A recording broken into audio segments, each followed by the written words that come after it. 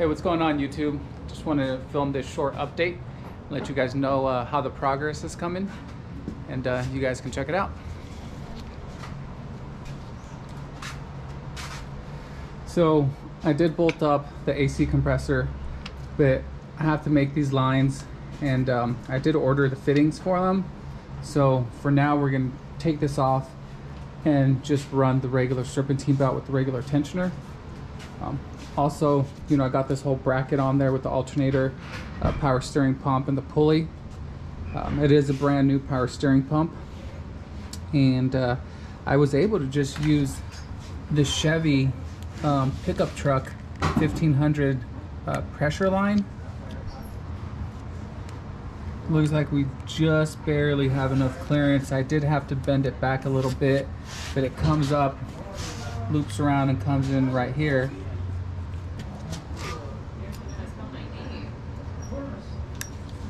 And it just barely misses the pulley. Um, this truck actually came with a, a, power steering cooler, which I'm gonna wanna run. So this line's gonna come up, go to the cooler, and then from the cooler, come back and go to the reservoir.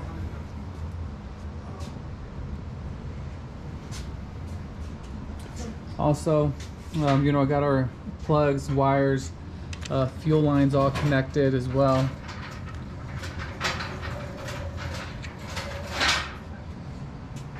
Uh, throttle, throttle cables on there.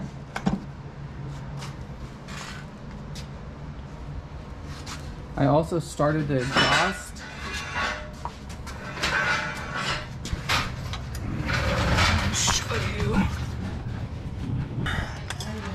this is what I ended up having to do to get this transmission mount to work.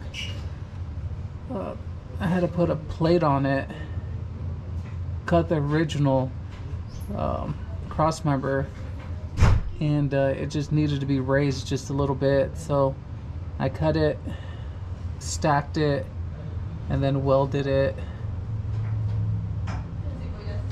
And then I was able to bolt directly to the mount and that worked out really good. So now I can get my uh, my drive shaft figured out. With the exhaust pipe right here ready to go V-band comes up. It's gonna go right back there. And then the other one is gonna come up and go right back there. All right you can see the the clearance that I have in here. I mean it's not much but it's there.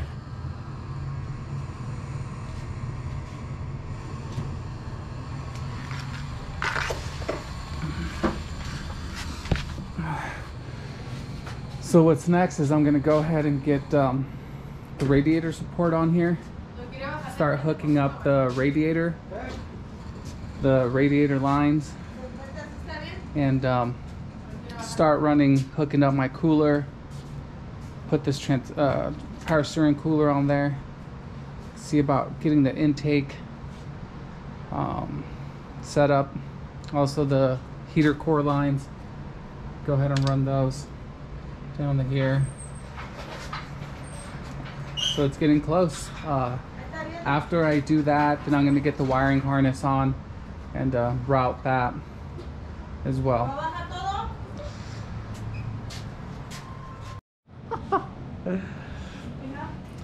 All right. So we have uh, that front rad support just loosely bolted on. And uh, we want to start to throw the radiator in and start checking the fitment, seeing what we got to do to make it fit. And right now, we're also getting our transmission uh, filter kit and the two um, shift solenoids swapped out. Yeah, but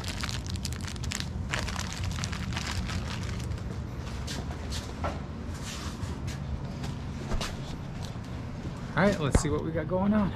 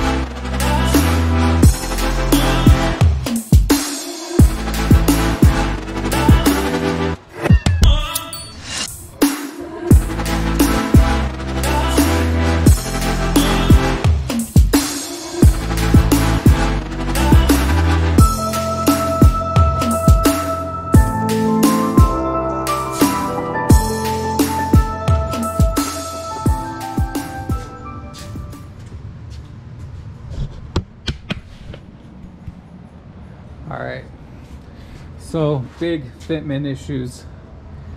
Um, bottoms out, sticks out about two inches.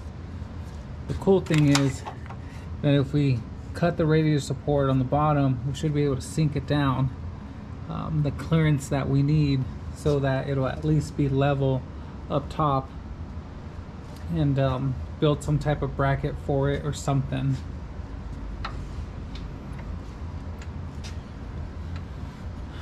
But that's why we needed to get it in so we can see what and how we're gonna make it work.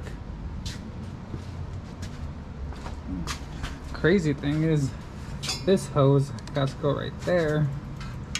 It's not a bad fitment, but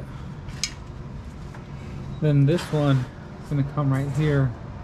So that's not bad either.